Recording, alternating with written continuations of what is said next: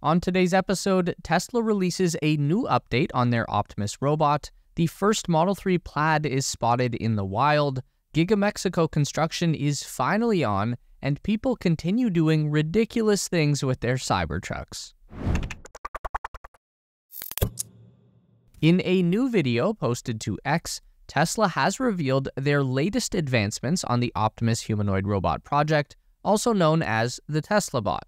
What we are looking at here is a new Gen 2 prototype bot walking around in a big circle near the product development area of Tesla's robotics department in Palo Alto, California. Now, at first glance, this might not look like much, but let's rewind one month to January 30th when Elon Musk posted this video of a previous Tesla bot prototype walking through the same area. Notice the difference? Back in January, the bot was kinda shuffling along like an old man, which of course brought out more than a few comparisons to the President of the United States, and not to get political here, but the robot totally does walk like Joe Biden, that's not a joke. Now, fast forward to the Tesla bot on February 24th, and you can really see the difference in walking mechanics. This bot would easily leave Joe Biden in the dust. It's getting pretty damn close to walking like a real human being. And thankfully, we had one of the TeslaBot lead engineers, Milan Kovac, jump on X to provide some additional details on the bot's performance. He says that the speed we are witnessing is around 0.6 meters per second, which is a 30% increase over the first TeslaBot Gen 2 video that was posted on December 12, 2023. This is still only moving at about half the average walking speed, which is 3 miles per hour or 1.3 meters per second. But Kovac goes on to explain the full depth of performance increases that have been made in just the past month. Quote, We've improved our vestibular system, our foot trajectory, and our ground contact logic. We've upgraded our motion planner and made cuts to our loop latency across the bot. Optimus is more stable and more confident overall, even during turns. We also added a slight torso and arm sway. End quote. One of my favorite things about the new video is that you can see all of the product development going on in the background.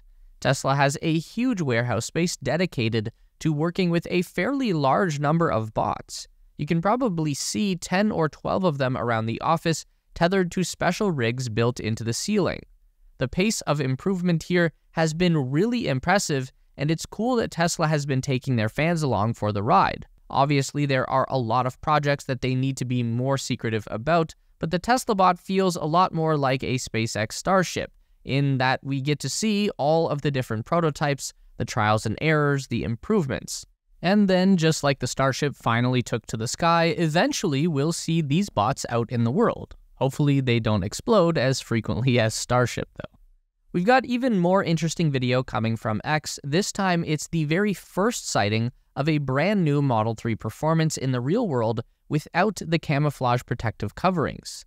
This is coming from our new friend Desmond Wisely, and he managed to get a clip of the much anticipated Model 3 performance redesign in the new ultra red paint color. Apparently, the car was being driven through a public space outside of a museum in Valencia, Spain. The vehicle is obviously being used in some kind of a Tesla video production, we can see some professional camera gear in the background and around the vehicle, especially in this second clip where a person in a high-vis vest comes over and tells Desmond he can't film them. So, a few very obvious new features here that we note. We don't get a great view of the front, but you can definitely see a new splitter along the lower lip of the bumper. We've got some brand new black coated sport rims that look pretty sweet. I hardly ever like Tesla rims, but these are cool and you can see red brake calipers underneath with extra large discs. As you'd expect with a performance variant, this car is much more low slung and hugs the ground. Moving around the back, we've got a very prominent new spoiler built into the trunk lid, a black rear diffuser, and the Ludicrous badge. This has been confused with the plaid badges that came on the back of the Model S, and that's fair, the resolution here isn't great, but if we go back to our Spaceballs movie lore, Ludicrous speed comes before plaid and is shown with white streaks on a black background. Plaid is orange lines on black. Anyway, I think what Tesla is signifying here is that this is definitely not a three-motor platform like the Model S Plaid, but it's still going to be ludicrously fast. We are expecting a much different experience from the previous Model 3 performance, which was essentially just a long range with lower suspension, bigger brakes, and a software based acceleration boost, one that any long range Model 3 could purchase over the air. So, with this new release, we think it's much more likely to see an upgraded drive unit and battery pack that are unique to the ludicrous trim option. Now, let's just hope that we don't have to wait much longer to find out just how fast the new Model 3 truly is. We've heard a lot of back and forth over the past year about when Tesla would actually begin construction on their next Gigafactory project in Nuevo Leon, Mexico. Well, the latest word from Governor Samuel Garcia Sepulveda is that the official groundbreaking date has been set for March 3rd. We do know that some preliminary construction activity has already begun at the site, but the official start had been pushed back due to ongoing environmental permitting concerns. Now, that all seems to have been cleared as the governor of Nuevo Leon announced, quote, Tesla starts next Sunday. There will come a lot of investment, a lot of development, a lot of spillover. The governor acknowledged that there had been issues with electricity and water demands for the new factory, and of course its impact on the local environment, but he says that he's talked with higher levels of government in Mexico and made an arrangement that will be successful in getting work moving along next month. The Gigafactory site is located in Santa Catarina, which is within the Greater Monterrey metro area, a new hotbed for American tech companies that are investing in Mexico as a new manufacturing hub, part of the nearshoring movement to move key production sites out of Asia and back over to our own side of the ocean, where things are more secure going forward.